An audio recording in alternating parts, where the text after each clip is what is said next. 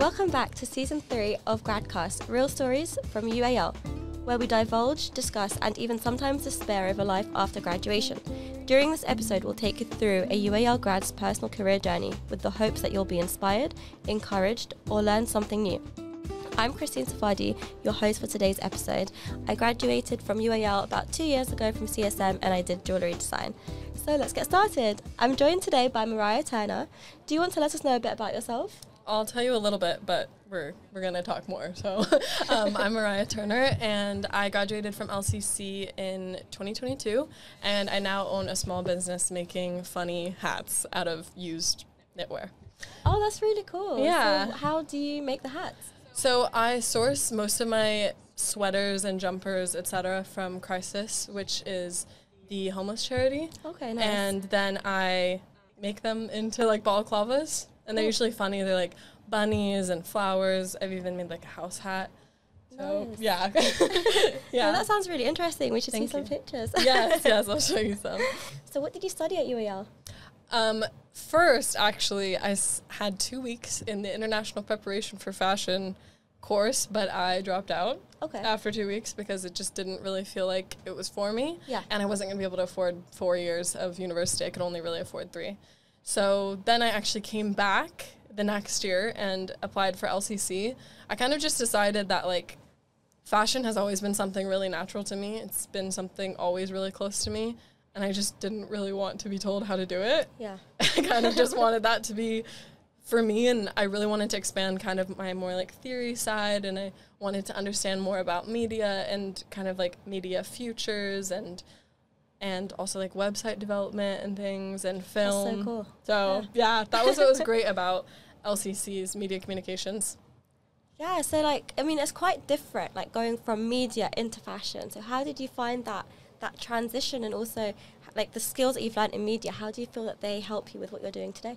Well, you might have to ask the second question again, but um, I think first of all, I never really loved fashion. I was kind of, I always kind of had like two parallel kind of things happening at the same time.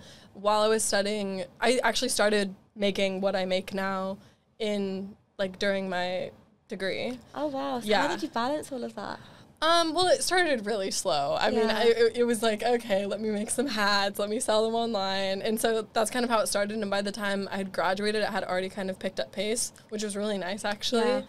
But so it wasn't as much of a pivot, it was more kind of like I'm really wanting to learn about I'm really wanting to learn more about how the media works Yeah. and how those things kind of work together because I mean fashion is obviously media. I mean, that's how things come out, Yeah. etc. But um, yeah, I just didn't really know much about the theories and I didn't know much about film theory or how to actually code a website. So it was kind of just trying to like build up my skills and and write a bit more because I also really like writing. Nice, So yeah. yeah. I mean it's creative in its in its own right as well. Yeah. Yeah, nice. So you're part of the accelerator program. Um, so could you tell us a bit more about that as well? Yeah, so I actually just heard about that like two days ago that I just got in.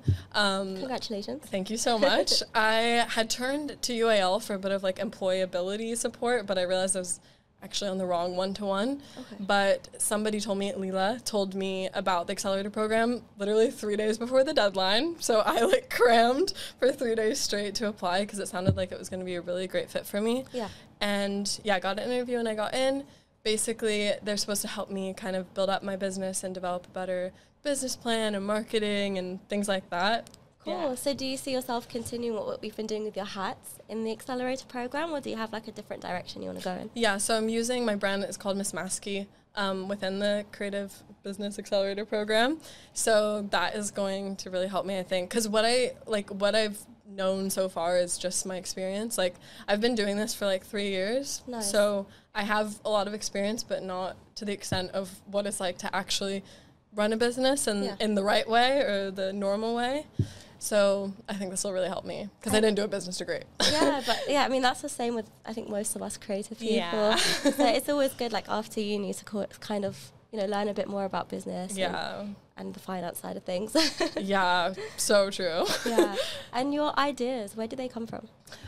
Um, I feel like it's all really symbolic. Like I feel like it's always symbols. I think one of my most kind of sold things is a bunny hat, which is funny because it's it's got this it has such a symbol to it. There's a lot of like childhood associations and also other associations. Like everyone has a different interpretation and I think that's what's really cool about symbolism in general. Yeah. Is it it represents something different for everybody, but it For has sure. this kind of like transient way of symbolizing and making meaning for p- different people, which I think is really cool. And that's the best thing about art, really. Yeah, come on. And can you tell me a bit more about your Creative Business Accelerator application? So, do you have any tips for anyone looking to go down that path? As I said, I did do it very last minute, but um, I think also in general to kind of keep an eye out for UAL. I think as graduates, we sometimes tend to just turn around and be like, all right, peace, goodbye. But I think we can actually rely on them and they can like actually help us in other ways afterwards. Yeah. But for the application, I would say be really honest about what your struggle points are. I think it's really important they know why you need it. And like, so for me, I don't know about business planning or financial literacy. So I was really honest about that. I was like, I don't know how to reinvest in my business. That's the point of this program, isn't Yeah. it? so that's, that's, yeah, yeah. great. So, and I think also just being honest about like why you like what you're doing and why other people like what you're doing and share things with them. I think they like to see that you're excited about it and they Yeah. like to see that other people are excited about it. And yeah, and prepare well for the interview. If you get the interview, you know, just do well and be nice. Yeah. Yeah. I mean, that's a great tip for anything anyway. yeah, do well, be honest, and be nice. Like, Yeah. that's it. So you were an international graduate. Do you have any advice for other UAL grads uh, who want to stay in the UK? Anything to consider to prepare for? I would say plan ahead. Do not wait till like three months before your visa ends. I was like kind of frozen by anxiety. Like I was like, this is really scary. I don't know what to do. I thought I could do some other visa, but I can't. So I finally kind of calmed my nervousness by making a really good plan. I've just looked everything up and planned ahead. I have like a month by month plan on how I'm going to get this next visa. I'm applying for the exceptional promise route of the global talent visa. Oh, that sounds interesting. Yeah, so it's a bit complex and it rel- it like requires me to rely on a lot of different people, which is a bit new, but Yeah. um, I think planning ahead has really helped me to like ease my anxiety and just get it done because knowledge really is power and knowing about how it actually works and how every visa actually works has led me to be able to like actually just do it Yeah, because that's what we need to do at the end of the day. Yeah. No, that's great. I hope all goes well for you. Yeah, thank you. And so, how do you balance your passion projects with a need to make a living? So, you know, you've got your amazing ideas, but you also, you know, you've got maybe other things that you want to sell. So, how do you balance the, the two of those?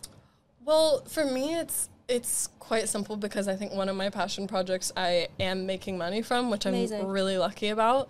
But I also think that we should try to bring passion into everything and always like for me I only really tend to work in creative fields or creative jobs and I'm always just trying to learn like if there's something I haven't done before I want to know how Yeah. and so I think like bringing curiosity and creativity and passion into everything that we do no matter what the job is I think is really important and another thing is if you don't have the capability or the time or the job that allows you to have that passion, I think carving out a bit of time that is fiercely for creation is Yeah. so important. I'm sure like you know this too. Like it's so hard to balance these things, but we have to be really protective over like this really precious thing which is creation and I think it's really important that we try to protect it as best we can. 100%. I mean, that's why we went into the creative industries in the first place. So, Yeah. you know, it's always important to maintain that and to, you know, keep that going forward, even with the need to make money. Yeah, hundred percent. And I think also just like advocating for your other skills and being like, I'm worth, you know, I know this, so Yeah. I should charge you this much, and just kind of having a bit of confidence as long as you can back it up with skill. 100%. It's, like, it's about knowing your worth as well. Hundred percent. yeah, for sure. Yeah. Oh, so what are your future goals or projects, and how do you see your career evolving in the next few years? Well, right now, especially with the Creative Business Accelerator happening, I'm really hoping to develop Miss Maskey into something that really kind of expands the industry and exists as an example of something that can happen that's good. I've been in the fashion industry for a few years now and I'm like really disappointed Yeah. with I mean, we know, like but it's it's really disappointing to see so much contradiction, especially when it comes to sustainability. Yeah. I think as a whole, the industry needs to have a sense of integrity when it comes to how we're treating the planet and how we're creating things, and and also as a consumer, how we're consuming things and Yeah. what it means and what it like what it actually looks like. And I'm really hoping that Miss Maskey can be this kind of thing within the industry that says like, look, you can make money without, you know, without like underpaying people or without yeah without like compromising your values without making a bunch of landfill you know Yeah. like i think that's what is like really inspiring to me is to kind of be an example of a business that doesn't go the route of like money money money money Yeah. but like let's i want to like give back more than i take from my community Yeah. and just kind of yeah just create something that's like really beautiful and gorgeous in something that's really sick and gross Yeah, I Yeah. think as well, like the product life cycle, not just maybe in fashion, but in so many other industries, it's just not considered. So it's like Oh we've got this product, it's out in the market, and then that's it. yeah Like, we don't think about, you know, the end, like after it's used, like what happens to it. Exactly. And I think even now, I think we all tend to be like, okay, we donated it. Like, it's fine, it's done. But most of it can't be sold. Yeah. Like, and so that's what I use with my materials. It's things that Crisis can't sell because either like the company left some, like the security tag on it or, uh, or like there was a tiny stain or a little hole. And so it's, it's like, the charity shops that we're giving to, they're they're also intaking way too much. Yeah. They're taking so much, and that doesn't stay here. Like it doesn't stay in the UK. It usually gets shipped off to another country to get graded, and then it gets shipped back, or it gets shipped to Ghana for that clothing market. Yeah. Which is just like really complicated because we don't actually know where our clothes are ending up, and so I really hope I can make more of a dent in that. But it's really overwhelming to witness, like going to textile recycling companies and just seeing like piles and piles of clothes and a lot of it is like fast fashion and Yeah. and like it's just like a sweater that somebody wore once and got rid of and it's so disheartening but i also think it can be inspiring because it's like we have all the stuff we can make things with sure. and we don't have to be buying new things we can like recreate things and i think that's really great because right now i feel like people are really coming back to that and being like taking back abilities like Yeah. we're all learning to upcycle everyone knows how to upcycle and that's so good and important mend you know yeah, no, hundred percent. So Yeah. what what would you say if you could say one thing to the industry? What would you say about you know? do better. just do better. I mean, I it's like I, I think it's just we need to bring our hearts back Mm. into it. It's not it's like fashion is so beautiful. It's like that's to do. It's like it's living. Like fashion is how we live. It's how we do things. It's how we make things. But I think right now because we live in a capitalist society, it goes money first and I think we need to put earth and people first. Like it doesn't it doesn't make sense. Yeah. Because the thing is, I'm this is kind of doomsday.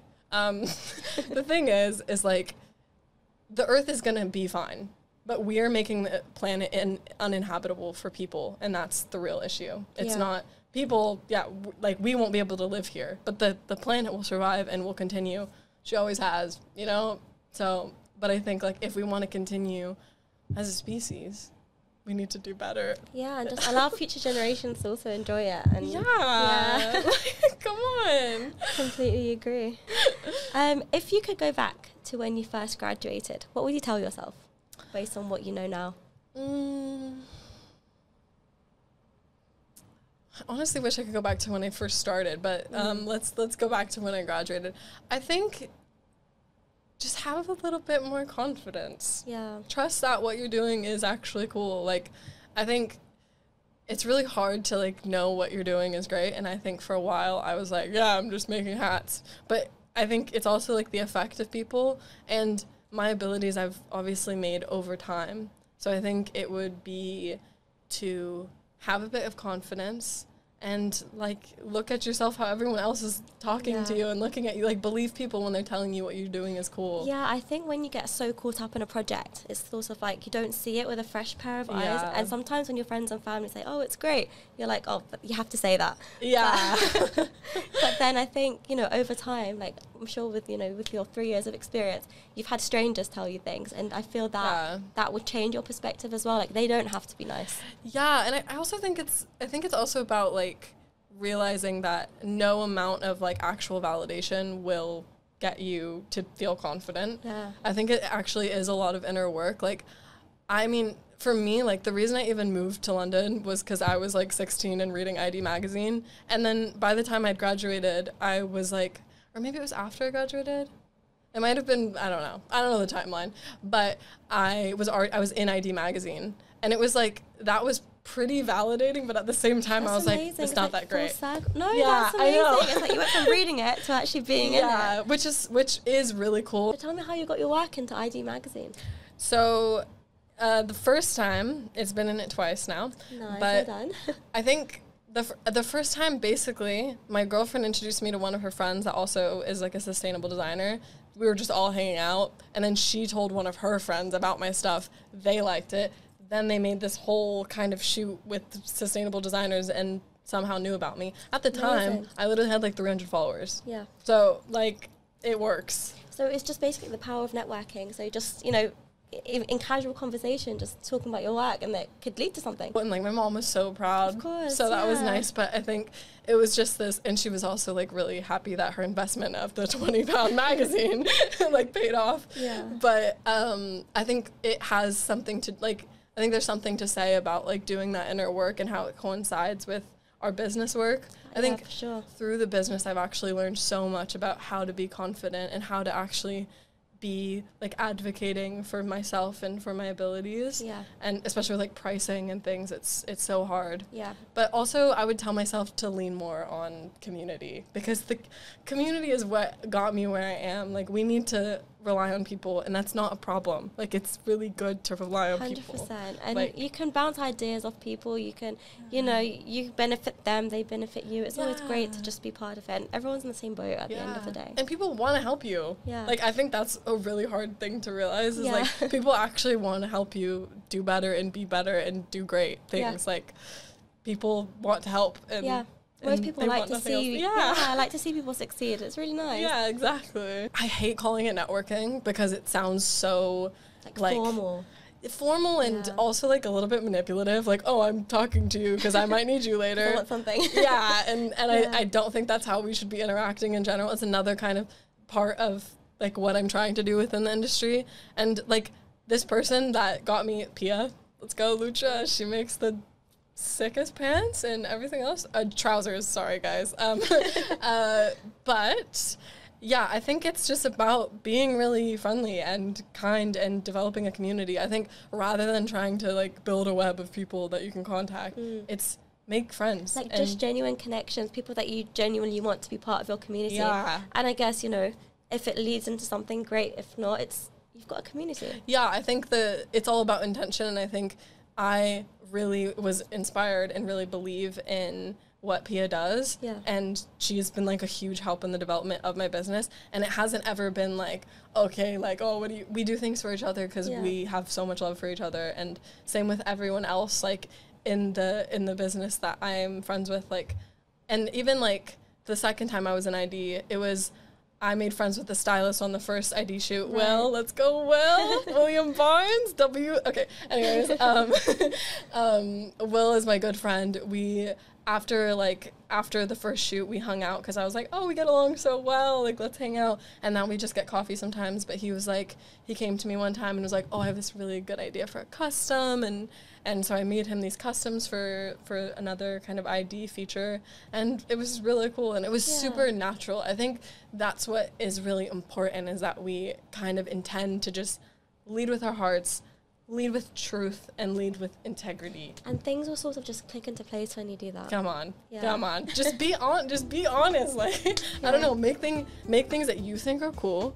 do what you think is right and do your best until you know better and then do better. For sure. And the right people will connect to that. It's simple. It's simple. Yeah. Everything works. Well, thanks so much to our guest, Mariah, and thank you for listening to our Gradcast, Real Stories from UAL. We hope that we've managed to motivate you, inspire you, and maybe you've learned something new today.